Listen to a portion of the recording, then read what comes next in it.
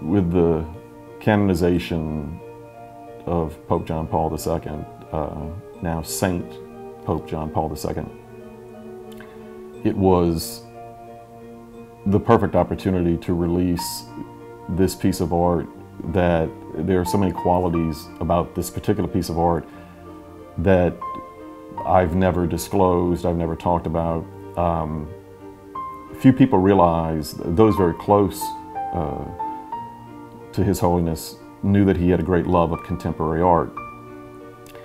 Um, the original piece is very large. It was done as a gift from the United States to the Holy Father. And he was very ill at the time.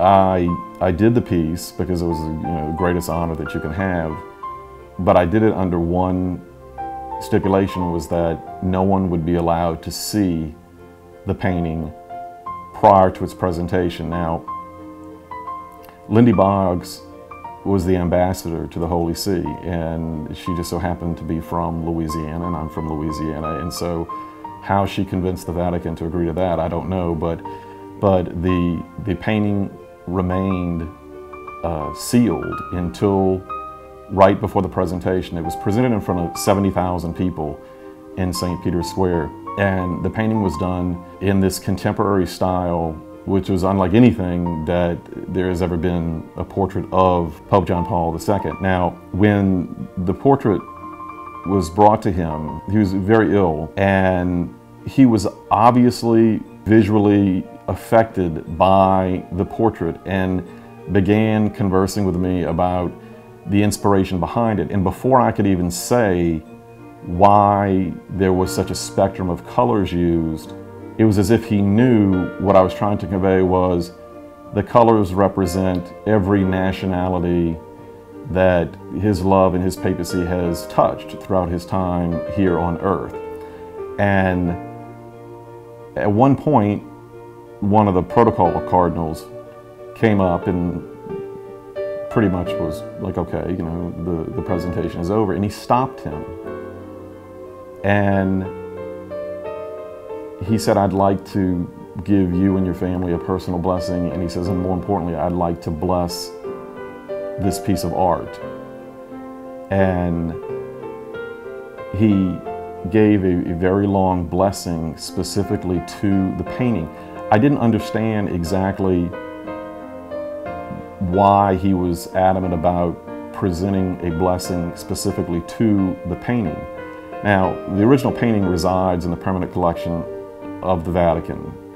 However, now the photo of him performing this blessing is the only known documented evidence of St. Pope John Paul II performing a personal blessing on a portrait of himself.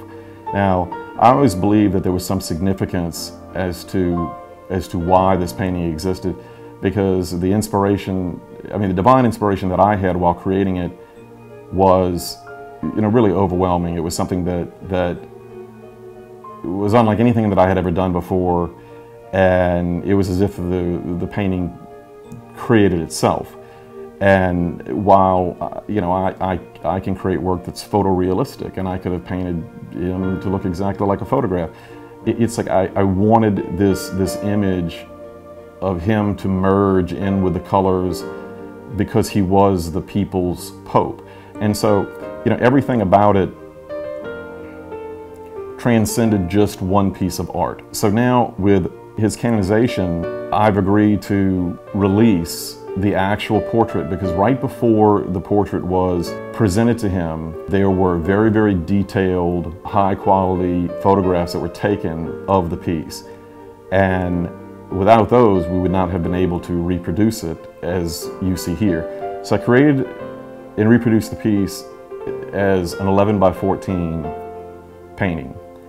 But I always felt that there was something else that I wanted to add to the piece. Like over the years, I've learned so much about the cornerstones of what's so important about his time here on earth and what meant so much to him as an individual and what he wanted to convey. And so I painted a detailed painting of a piece of stained glass featuring the Blessed Mother on one side and Jesus on the other, along with four of St. Pope John Paul II's most defining quotes that to me represent everything that he stood for. The original of this piece contains so much 18 karat gold and there was actually real gold that was mixed with the paint. And so when making a print, my entire career has been all about making sure that my work is affordable to everyone. And this is something that has never been more obvious than what we're doing right now. The print is available in two different ways. One without the actual gold leafing and one with the gold leafing.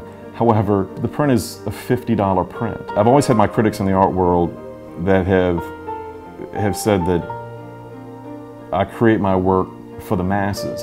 And I'm sorry, there's, there's no greater number of people in this world that have been touched by St. Pope John Paul II. And so to be able to, to offer something that's affordable to anyone. Now, being able to also create this custom mat that encases it as a piece of stained glass in a frame, I really believe that the Holy Father would have responded just incredible to it. And, and I, I wrote a letter. So with every print, whether you get it unframed or framed or whichever version that you get, comes with a photograph of the actual moment in which he blessed the portrait. It also comes with a detailed description of the private conversation that I had with him about the painting. And I'm not going to go into that now, but I will tell you what's really strange is that on my site there is a piece of art that, that is a jazz piece that um, I drew a little trumpet at the bottom of, and I held up Al Hirt's trumpet, which, if you watch the video, you'll know that that was, that was something that he left to my family. Pope John Paul asked me during the presentation, was I familiar with Al Hirt's music, which was so strange. And I said, not only am I familiar with it, he's one of my, my dearest friends. He said, I remember his rendition of Ave Maria that he played when I did the Mass in New Orleans was one of my favorite renditions. And I went back to Al Hirt after the presentation of the portrait and I told him that. And you'd have to know Al Hirt, he said, I forgot the music to it. So when I went up there, I just winged it he says, and I could tell so many of the cardinals were mortified. He says, and I looked at, he says, I looked at Pope John Paul and he was tapping his foot, okay, and moving his finger. And shortly thereafter, I received a personal letter signed by him telling him how much he loved the rendition. It, there's so many strange connections that have, that have come about to make this particular piece possible. And that's why, you know, I was glad to have the opportunity to, to speak about it for, the, for really the first time. I, haven't talked about it in, in many years, and this is the first time that it's been made available, and we are offering it all over the world, and it is affordable to everyone because that is what the Holy Father would want. There's something special about this piece of art. There's something that compelled my time with him to be so long and the things that I spoke to him about, the art in particular. I'm not going to arrogantly say there's something so special about it because it's the best piece of art that's ever been done.